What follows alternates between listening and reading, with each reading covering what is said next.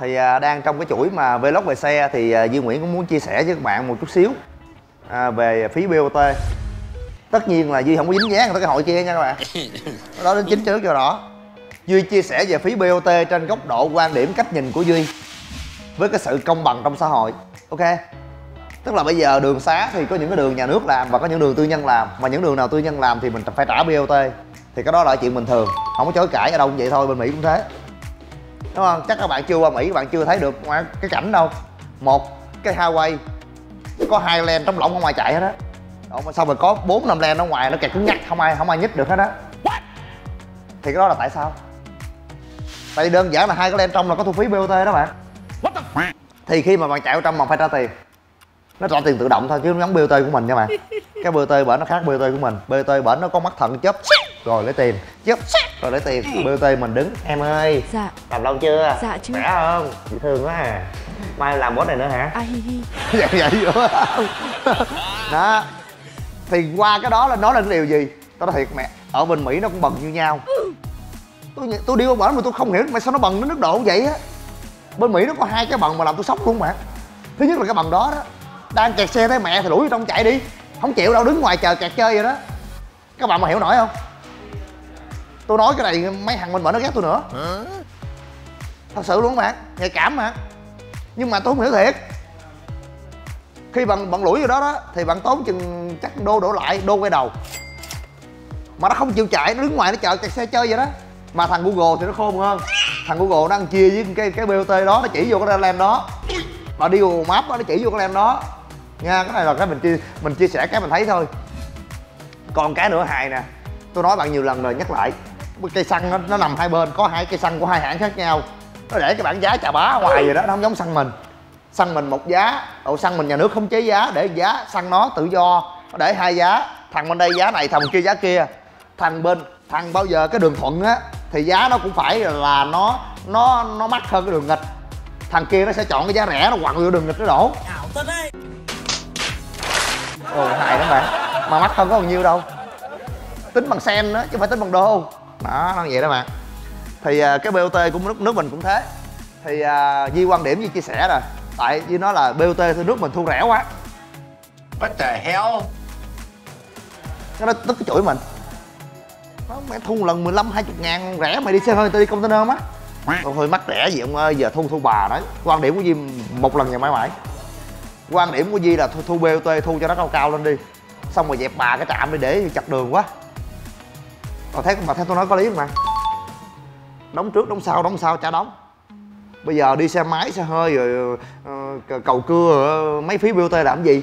Rồi từ cái, cái, mấy bạn khách xe đa mình bằng cách bạn nói giờ mày nói vậy hay quá người ta chở hàng thì sao? Ok chở hàng luôn hàng gì? Hàng súp không nói mắc. Giờ hàng dưa hấu đi chở nguyên xe dưa hấu đi lên bot mấy chục ngàn giờ chia ra mỗi trái dưa hấu lên nhiêu tiền ông nội? Đúng không? Ôi bạn ơi! Hợp lý không giờ xe chở dưa hấu bèo bèo có trăm trái dưa hấu chứ. Rồi xong rồi giờ lên bot lên hai chục ngàn đi thì một trái dưa hấu lên nhiêu tiền? Một trái dưa hấu lên 200 đồng rồi có gì đâu nặng nề nhưng mà đổi lại cái gì? Đúng không? Bạn trả như vậy phí ot bot bạn mới rẻ. Oh, really? nó lại không hiểu nữa. Đúng không? Bạn trả gì phí bot bạn mới rẻ. Còn bây giờ bạn trả dài phí bot bạn mắc hơn. Đúng chưa mà cái trạm bot nó dựng cứ ở ngoài con đường đó, nó nó nhìn nó bực, nó nhìn nó xấu quá. Dẹp đi cho sớm, trả 15 năm chứ trả 5 năm, chọn nào? Ta chọn đại trả 5 năm đi, cho lẹ. Bứng trạm đi trả lại mỹ quan đô thị cái nhất. Cái thứ hai, khi mà trả 5 năm, cái dòng tiền của chủ đầu tư nó ngắn hơn. Nó ngắn hơn thì nó rẻ phí BOT cho mình. Chứ bây giờ trả 15 năm, nó vay ngân hàng 15 năm, trả lãi cho ngân hàng 15 năm, banh sát chủ chủ nó bóp mình chứ bóp ai. Đó là vấn đề số 1 vấn đề số 2 bây giờ nó thuê lao động trong 15 năm chứ thuê lao động trong 5 năm trả nào ngắn hơn. Đó đó là quan điểm của cá nhân của mình đó nghe mình không nói đúng sai, mình cũng muốn tranh luận với các bạn. Tất nhiên các bạn có quan điểm của các bạn thì mình có quan điểm của mình. Thôi mình tôn trọng nhau về điểm này đi ha. Giờ qua điểm chính mấy em? Giờ cái BOT ngay chỗ cầu rạch chiếc này tự nhiên lên 25 ngàn. Hồi trước có 15 ngàn, bữa nay lên 25 ngàn anh giật mình. Xong rồi ngày ngày trước nó nó thu rồi mà anh chạy tuyến trong, nó không lấy anh được ồ con con kia đứng ngoắt ra ngoài ra ngoài ra ngoài. Tức là nó kêu chạy ra ngoài đi để thu BOT mà cái đường ở trong chưa rào. Đường trong chưa rào, đóng xe chạy trong luôn. Thằng kia nó mất trong vô vọng. Giờ bữa nay rào rồi, phải trả rồi. Bữa nay rào rồi. 25 ngàn. Cái đợt, cái điều này nó cũng gây cho Di một cái sự ngạc nhiên là sao, tại sao tất cả những BOT mà Di đi á, ở ngoài tỉnh là 35 ở trong thành phố là 15 đó giờ nó quy luật bất biến rồi trừ khi mấy cái hầm đều cả đều ngang rồi thôi nó mắc. Mà tự nhiên dở lên 25 ngàn. Cũng không hiểu sao hết. Nhưng mà nói tóm lại là giờ, vấn đề này mới là chính nè. Anh có tứ trụ. Tứ trụ của anh nằm trên đường đường đường vành đai 2 mà trên đường vành đai 2 là quốc lộ 1 với cái đường này, mấy đường này nè. Đường nào nó cũng có BOT hết. Đó. Thì bây giờ cứ sọc xỉa sọc xỉa sọc xỉa hoài thấy mệt quá. Bây giờ mấy em tư vấn anh có cái cách nào để mình làm một cái thẻ mà đi được hết BOT không?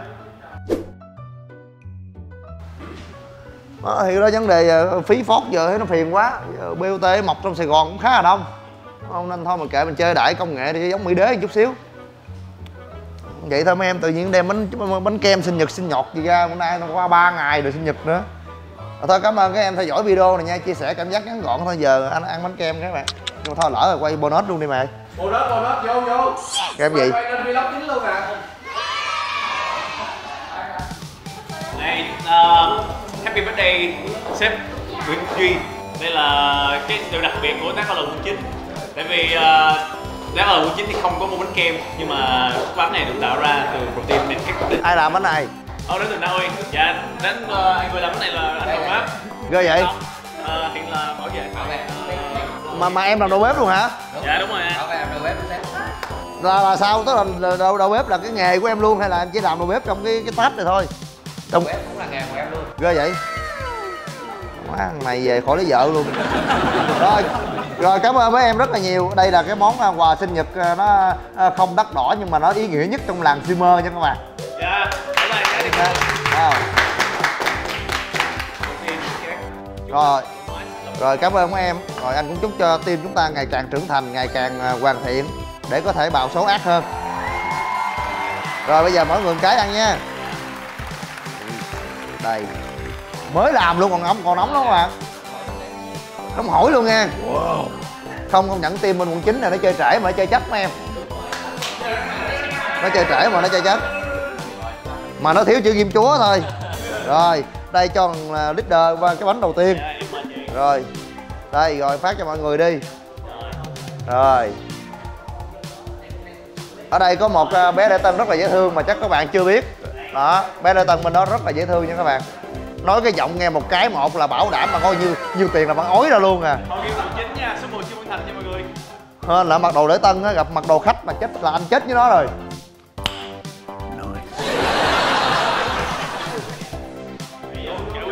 Đây. Rồi đủ chưa? Bao nhiêu cái nữa? Đâu quần chính đâu? Ok đúng. Chính xác chính xác rồi được rồi quần, quần chính hết rồi phải không? Rồi em nữa. Rồi sao? Rồi mày trong nhóm quần chính đúng không? Rồi bây giờ team media một bánh chia ra. Ít người rồi à, à, team học viên hai bánh rồi chia ra. Hai bánh chia ra. Rồi Duy Nguyễn một bánh cuối cùng. Bây giờ cái câu hỏi á tôi chỉ hỏi các bạn một câu thôi nãy giờ tôi có đếm đầu người không? Nope. nãy giờ tôi có đếm bánh không? Nope. mà tôi thấy cách bạn thấy cách chiêu tôi chắc chưa? Cái bánh cuối cùng của tôi còn này sao ăn? Hợp lý không? Hợp lý không? Bạn thấy vậy làm đam chúa được chưa? Không like đi xuôi cả đời. Bye bye các bạn. Hay thì mua súp đi ba. Like xe là đương nhiên rồi. Coi chùa hoài